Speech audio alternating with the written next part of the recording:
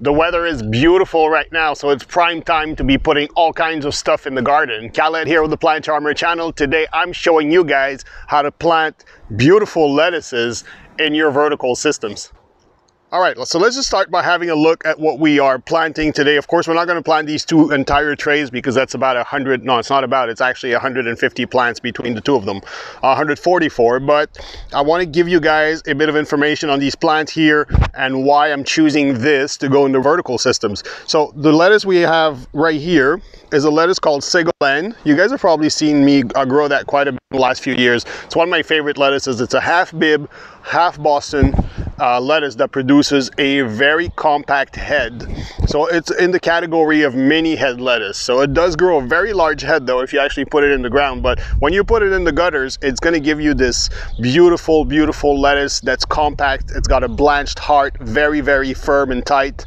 Uh, just like a romaine lettuce, but you've got the buttery texture of the Bibb lettuce here. So it's really the best of both worlds. Ever since I've discovered these types of uh, varieties, these mini uh, lettuce heads. I've been growing only that. So they are by far superior to uh, regular romaine lettuces you would find uh, in the, the garden centers, for example, or the hardware store. These are always heirloom old varieties, which I have nothing against, but they're just not as good as these guys. So this one here is called Newham, and Newham is actually an improved little gem. So uh, Newham is also a half Bibb and half romaine lettuce, so half butter, half romaine, uh, but this one is completely green. So it's got a different growth habit, but it does produce a very, very tight, compact head, blanched in the middle. Uh, it's called a sucrine in France and in Europe, where they grow pretty much only that, especially in the UK. It's very, very popular.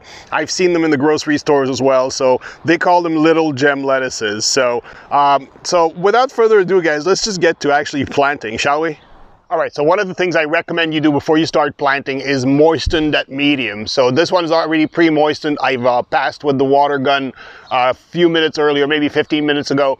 So that's step number one. The other step that you must not forget about, which is very important, is incorporating fertilizer in your medium. I know you guys are gonna tell me you keep saying that in every video, but yeah, I'm trying to basically hammer that notion in that if you plant in a medium that does not have fertilizer in, you can hope all you want. It's not gonna grow nicely and you're just gonna run into problems. So as opposed to a lot of plants that I grow that grow fruit or flowers, these guys are grown for the leaves. So when we grow plants for leaves, we don't want any, or well, we do want a little bit of phosphorus and potassium, but not a lot, just to say that the plant has gotten a bit so it can actually perform the functions that are afforded by these nutrients. However, the one nutrient we really, really want in large quantity is nitrogen. Nitrogen will develop leaves, and you know what? It happens to be specifically what we're trying to achieve here. We're trying to grow as much leaf as possible because by the time these lettuces go to flower, of course, they're not edible anymore. And so we're going to plant that top level here with that Newham lettuce, that little gem green lettuce. So super simple stuff actually. You just have to grab, see the beauty of having uh, seedlings like this is that once they're to a certain size, you know that they've actually filled the plug tray, the, the little cell that they have with roots. So I've just watered these, but because they have such great root systems, they actually hold together. So you just got to pull by the base and you've got a beautiful little seedling here that's just asking for water, heat, light, and space to develop. So we're going to give it just that, yeah? Uh, so we're going to go to our top gutter here and we're just going to put two fingers in and we're going to make an opening, a little space for our puck, and we're gonna drop that in, and that's it. When you're planting in rain gutters, by the way, don't start at the exact edge. Don't start at the very end of the gutter. Leave two or three inches so that the roots can actually also spread in that direction. So we've got one here. Now for lettuces like this, for mini heads, we find that six inches is actually perfect spacing. If you guys watched my previous video, you remember that six inches is more or less the length of the average hand. So we're gonna use that as well. So putting my hand here, would put my second lettuce about here, right here. So we're gonna grab another seedling, same thing, by the base, pull gently, and they all come. See, this is soaked actually. Look, if you actually squeeze this, there's water coming out. But because the root system is well developed, they can hold it. So we're gonna put that in. Here we go. And we're gonna go grab another seedling again. another six inches. So my hand right here, boom.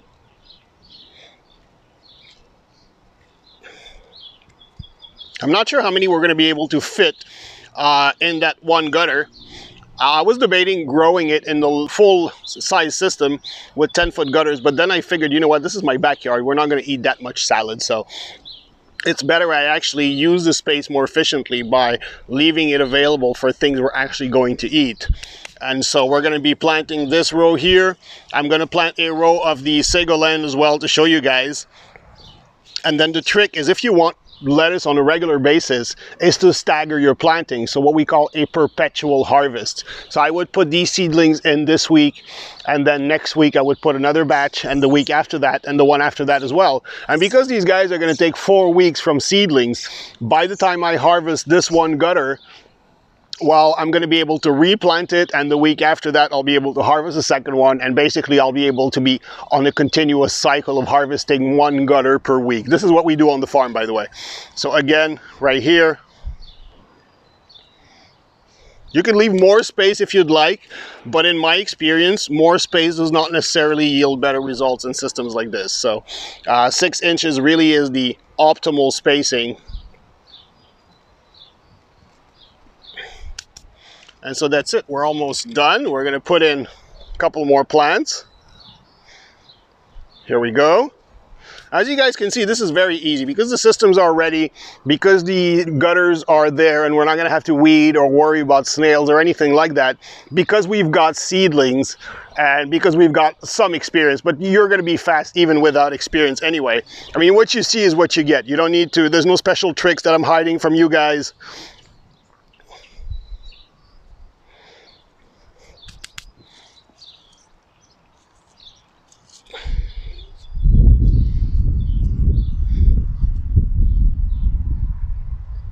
Because it's a little tight in the end here, I'm going to put uh, the last one there, uh, but it may be a little short on space uh, at the end of the gutter completely, but it should be fine. Here we go. So let's just count how many we have. So one, two, three, four, five, six, seven, eight, nine, and we've got 10 lettuces, so 10 lettuces in a five foot section, that gives us about six inches on average per lettuce, which is great. Uh, that's what we want. So I'm just gonna take a little pause right here. I'm gonna come back, we're gonna plant the other tray and I'll give you guys some final tips on how to make sure that you get some killer heads. All right, now let's plant our Ségolène lettuces. If you guys notice, there's two things to notice right now, actually.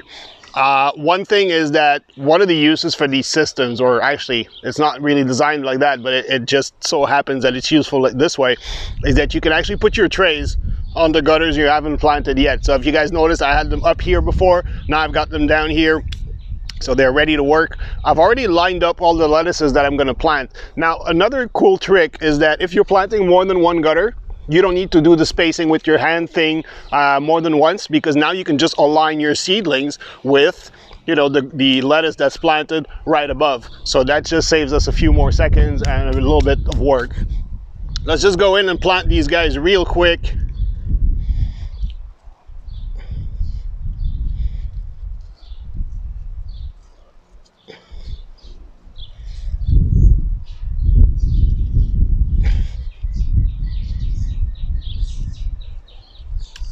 So if you guys notice, I'm going much, much faster than I was going before.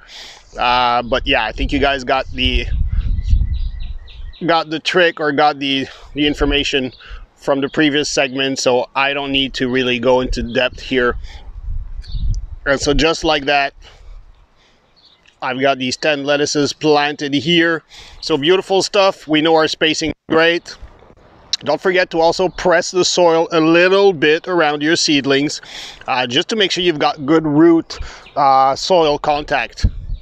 But we're going to be watering them anyway, which is going to improve that as well. So get them standing straight. And that's it.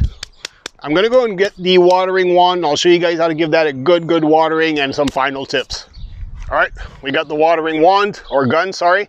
We're gonna give these guys a good watering. We're gonna put that on shower mode. Just try to be gentle. These guys were just transplanted. We don't wanna shock them or, or do anything that's going to stress them or set them back. So turn that on. If you guys remember my previous videos, we never blast our gutters. We never blast our plants. we go gentle. And as you can see, even going gentle, these ceilings are slightly stretched and they're all keeling over. So that's fine because as soon as they, uh, they absorb that moisture, they're gonna stand back up. But in the meanwhile, we just didn't want to brutalize them too much uh, because yeah, we just want to basically get some water in there, get that root soil contact going and uh, give them their first hydration. At the same time, when we're watering on top like this, we're watering the leaves. So we're cutting down evapotranspiration, which is the water that is being transpired through the leaves and lost in the air. Uh, so that's going to give them a 15 minutes or so of rest and stress-free environment for them to kind of realize what's happening to them and adjust. So if you want, you don't have to do anything. If you want, you could just set them straight again.